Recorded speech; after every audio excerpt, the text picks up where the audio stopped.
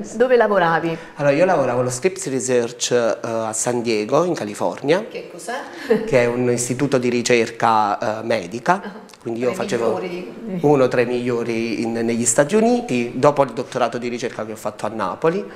Ehm, tra Napoli e Londra mi sono poi trasferito a San Diego, iniziato, sono stato lì per quattro anni e ho fatto una ricerca eh, sulla coagulazione proprio del sangue, però poi successivamente anche diciamo, la pandemia ha fatto sì ehm, che io avessi questa mancanza spasmodica al profumo del mio paese mm.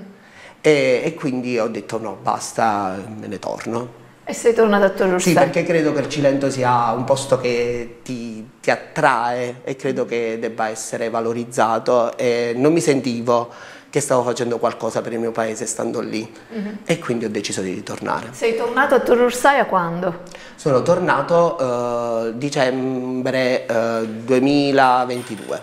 E da allora cosa fai? Da allora faccio il professore di matematica e scienze alle scuole medie. È pentito della scelta del ritorno alle radici? No, non, nessun pentimento. Tu che hai vissuto questa esperienza, cosa ti va di dire ai giovani che invece stanno pensando di andare via?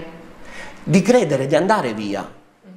Possono andare via i giovani, i giovani devono andare via, devono conoscere altri posti, perché soltanto conoscendo altri posti, altre culture, si può ritornare e si può in qualche modo ehm, aiutare il territorio.